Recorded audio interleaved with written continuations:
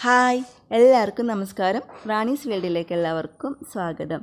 അപ്പോൾ നമ്മളുടെ മൂന്നാമത്തെ ലോക്ക്ഡൗൺ ഏകദേശം കഴിയാറായി. ഇനി ലോക്ക്ഡൗൺ ഉണ്ടാവാം ഇളവുകൾ ഉണ്ടാവാം. എന്തൊക്കെ തന്നെ ഇളവുകൾ ഉണ്ടായാലും നമ്മളുടെ സുരക്ഷ നമ്മളുടെ കയ്യിൽ തന്നെയാണ്. അതുകൊണ്ട് എല്ലാവരും സേഫായി തന്നെ തുടരുക. ഇന്നും ഞാനൊരു പാചക വീഡിയോ തന്നെയാണ് ഷെയർ ചെയ്യുന്നത്. വളരെ പെട്ടെന്ന് തയ്യാറാക്കാൻ പറ്റുന്ന ഒരു തീയലിന്റെ റെസിപ്പിയാണ്. നമുക്ക് വീഡിയോയിലേക്ക് പോകാം. അതിനു മുമ്പ് എന്റെ വീഡിയോസ് ആദ്യമായിട്ട് കാണുന്നവരുണ്ടെങ്കിൽ ചാനൽ സബ്സ്ക്രൈബ് ചെയ്യാൻ മറക്കരുത്. വീഡിയോ ഇഷ്ടപ്പെടുവാണെങ്കിൽ ഷെയർ ചെയ്യാനും മറക്കരുത്. പെട്ടെന്ന് തയ്യാറാക്കാൻ പറ്റുന്ന ഒരു വഴുതന തീയലാണ്. അപ്പോൾ നമുക്കത് എങ്ങനെയാണ് തയ്യാറാക്കുന്നത് അതിന് എന്തൊക്കെ ചേരുവകളാണ് വേണ്ടത് അതൊക്കെ ഒന്ന് നോക്കാം. തീയൽ തയ്യാറാക്കാനായിട്ട് ഞാൻ കാൽ കിലോ വഴുതന അതായത് ഇരുന്നൂറ്റമ്പത് ഗ്രാം വഴുതന നീളത്തിൽ അരിഞ്ഞ് എടുത്തിട്ടുണ്ട്. നൂറ്റമ്പത് ഗ്രാം ചെറിയ ഉള്ളി അരിഞ്ഞെടുത്തിട്ടുണ്ട്. മൂന്ന് വലിയ പച്ചമുളക് അരിഞ്ഞെടുത്തിട്ടുണ്ട്.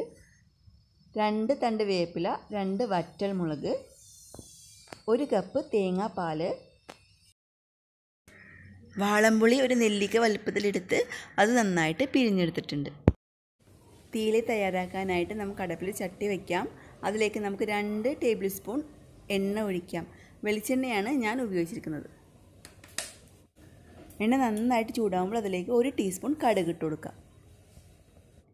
കടുക് നന്നായിട്ട് പൊട്ടിക്കഴിയുമ്പോൾ നമുക്കതിലേക്ക് വേപ്പില ഇട്ട് കൊടുക്കാം. ഒപ്പം നമുക്ക് രണ്ട് വറ്റൽ മുളകും കീറി ഇട്ട് കൊടുക്കാം. അതൊന്ന് മൂപ്പിച്ചെടുത്ത ശേഷം നമുക്ക് ഇത് കോരി മാറ്റി വെക്കാം.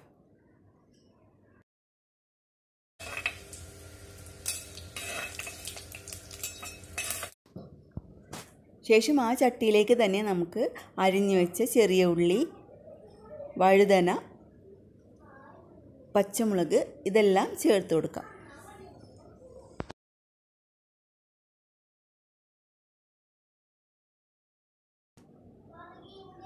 ഇനി ഇതെല്ലാം ചേർത്തിട്ടൊന്ന് വഴറ്റണം. അധികം വഴരണ്ട ഒന്ന് ചെറുതായിട്ടൊന്ന് വഴച്ചാൽ മതി.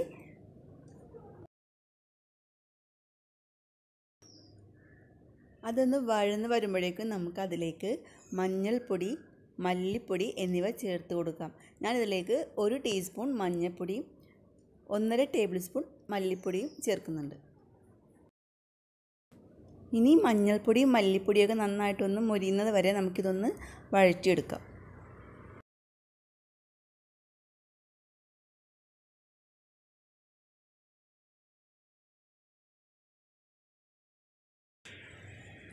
മല്ലിപ്പൊടിയുടെ പച്ചക്കുത്തൊന്ന് മാറി വരുമ്പോൾ അതായത് ഒന്ന് മൊരിഞ്ഞ് വരുമ്പോഴേക്കും നമുക്കിതിലേക്ക് ഒന്നര ടേബിൾ സ്പൂൺ മുളക് പൊടി കൂടി ചേർത്ത് കൊടുക്കാം. അപ്പോൾ നമ്മുടെ പൊടികളെല്ലാം ആയിക്കഴിഞ്ഞു. ഇനി ഇനി ഒന്നുകൂടി ഇത് നന്നായിട്ടൊന്ന് വഴറ്റിയെടുക്കണം. മുളക് കരിഞ്ഞു പോകരുത്. അപ്പോൾ ഒരു മീഡിയം ഫ്ലെയിം എന്നുള്ളത് കുറച്ച് വെച്ചിട്ട് നമുക്ക് നന്നായിട്ട് ഒന്ന് മുരിച്ചെടുക്കാം.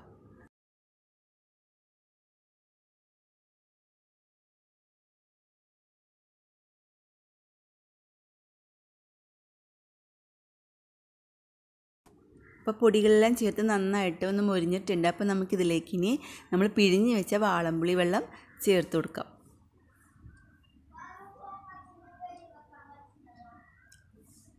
അതിലേക്ക് ഒരു അരക്കപ്പ് പച്ചവെള്ളം കൂടി ചേർത്ത് കൊടുക്കാം. എന്നിട്ട് അതിന് ശേഷം നന്നായിട്ട് ഇതൊന്ന് ഇളക്കി ഇതൊന്ന് തിളക്കണം.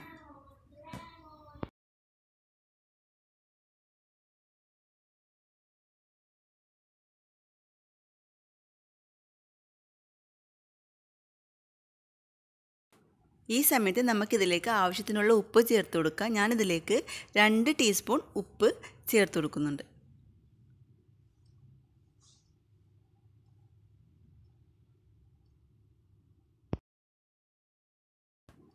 ഉപ്പ് ചേർത്ത ശേഷം നന്നായിട്ട് ഇളക്കി ഇതൊന്ന് ഒന്ന് തിളക്കണം.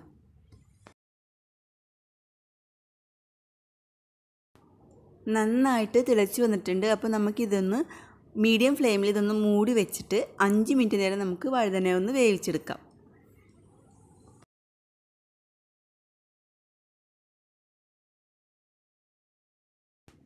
അഞ്ച് മിനിറ്റ് അടച്ച് വേവിച്ചു. ശേഷം നമുക്ക് വഴുതന നന്നായിട്ട് വെന്തിട്ടുണ്ട്. ഇനി നമുക്കിതിലേക്ക് പിഴിഞ്ഞ് വെച്ച തേങ്ങാപ്പാൽ ചേർത്ത് കൊടുക്കാം.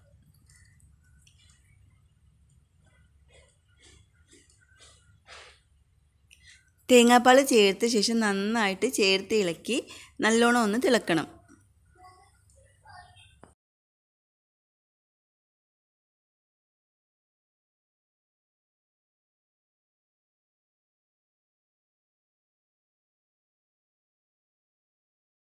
നന്നായിട്ട് തിളച്ച് ഒരു കുറച്ച് ചാറ് കുറുകി വരണം. നന്നായിട്ട് തിളച്ച് ചാറൊക്കെ കുറുകി ഇപ്പം നമ്മുടെ തീയിൽ റെഡിയായിട്ടുണ്ട് ഇനി ഇതിലേക്ക് നമുക്ക് വറുത്ത് ആദ്യം വറുത്ത് മാറ്റി വെച്ചത് ചേർത്ത് കൊടുക്കാം. ശേഷം നന്നായിട്ടൊന്ന് ഇളക്കിയെടുക്കാം. തീയിൽ റെഡിയായി കഴിഞ്ഞു. വളരെ പെട്ടെന്നാണ് നമ്മളിങ്ങനെ തീയിൽ തയ്യാറാക്കിയത്. വളരെ എളുപ്പത്തിൽ തയ്യാറാക്കാൻ പറ്റുന്ന ഇങ്ങനൊരു തീയൽ എല്ലാവരും തയ്യാറാക്കി നോക്കുക അതിന്റെ അഭിപ്രായം അറിയിക്കാം. വീഡിയോസ് ആദ്യമായിട്ട് കാണുന്നവരുണ്ടെങ്കിൽ ചാനൽ സബ്സ്ക്രൈബ് ചെയ്യാൻ മറക്കരുത്. വീഡിയോ ഉപകാരപ്രദമായെങ്കിൽ ഷെയർ ചെയ്യാനും മറക്കരുത്. അപ്പം മറ്റൊരു വിശേഷമായി നമുക്ക് വീണ്ടും കാണാം. അതുവരേക്കും ബായ്